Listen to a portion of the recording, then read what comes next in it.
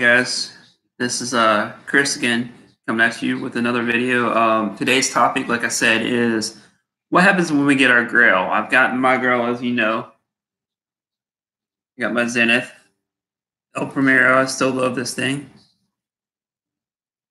Love the movement on it.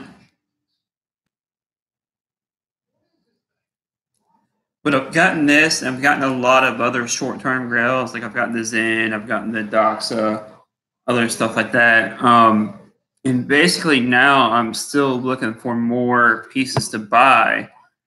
And that that's that's my question is are, are as collectors or as enthusiasts, are we ever going to be happy with our collection? Are we ever really going to be happy with our collection and where it stands? Quick wristwatch check, by the way. I'm wearing an Omega Seamaster. But basically, like with the Zenith, that was a long time ago. As you know, I, I have been wanting that for like five, six years, something like that. And then I was lucky enough to attain it earlier this year, this past year, and I got that, and I got my Omega. Never thought I was going to get an Omega, but now even after I've got my Grail, I'm still looking at other Grails. Like I'm looking at Blanc Blancpain, of course. I'm still looking at that 50 fathoms. I am looking at the, of course, long term, way, way, way long term. I'm talking like closer to like probably like 50 years old. I'm like 35 now, so I got a long time. But I'm, I'm looking at possibly getting a VC Overseas, the three hander. I'm looking at getting that. That that might be my end all collecting watch. Maybe, maybe not. But my question is, when when does it end as a collector? Like, like I said, as far as going into the hobby, you know, you start out buying Seiko. You, you saw my last vlog. I bought a um, Orange Monster was my first watch, first serious watch, and that's the first one that got me into watches.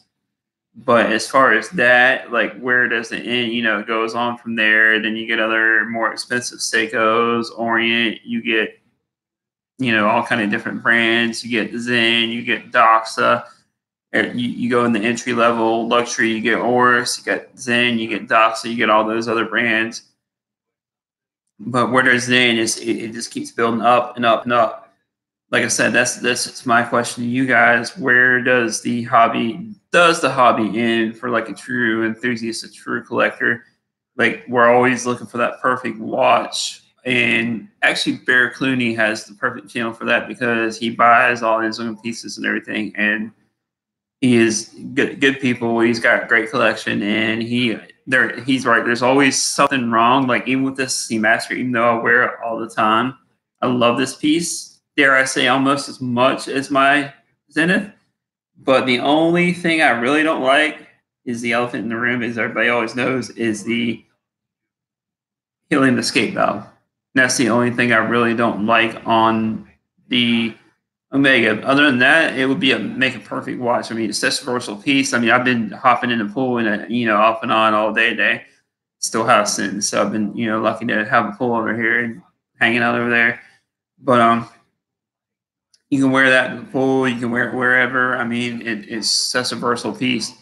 And like I said, with the Zenith, like I love that piece, and that piece and the Omega will always be in my collection, no matter what. But as far as like I said, now I'm looking at other pieces. I'm looking at the Blancpain, the 50 fathom ceramic. It, it's it's like you go down that rabbit hole, as I said before. You go down the rabbit hole, and it's just you know one piece after another, and then you get more and more expensive. You know, after the Blancpain, like I said, will probably be the Vacheron. And the, both of those will probably the Blancpain will be more more probably hopefully by the end of this year. I'm hoping to get that one. That's what I've really been saving for. I've got my eye on a couple other pieces.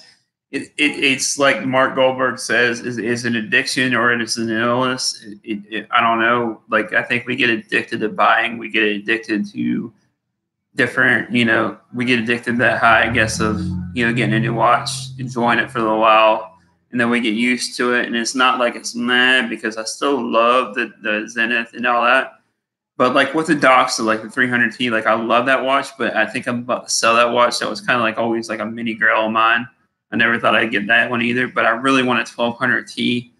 So I'm kind of on the fence about selling that one. I'm thinking about selling that one too. But it's just like once we get it and experience it, it's like where we want something else. do you guys feel that way? I was just curious. Let me know down in the comments.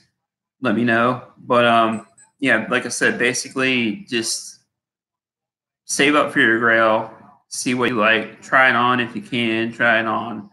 And that's basically about it. Like I said, I just wanted to do a little video about, you know, grails. Like we keep going on and on and on about our grail, and then we get our grail, and then we want something else. I believe it. Uh, really good uh, introspective uh, channel is um, Jeff McMahon. He has a really good, you know, insight the hobby, what we think is hobby, you know, as collectors and all that. If you want to go over and check out his channel, he does a pretty good job of explaining that. But uh, anyways, guys, I'll leave you back with that. Like I said, I just want to do a quick little vlog, just kind of, you know, my thoughts and opinions on grails, like – we, we set that grail and then we get it and then we set another grail. Like, are, are any of you guys ever really happy with your watches that you get when you get them? Like, I'm happy with the Zenith, but I still want more. I mean, is that just like a collector thing? Am I just crazy or does everybody else think that way? All right, later.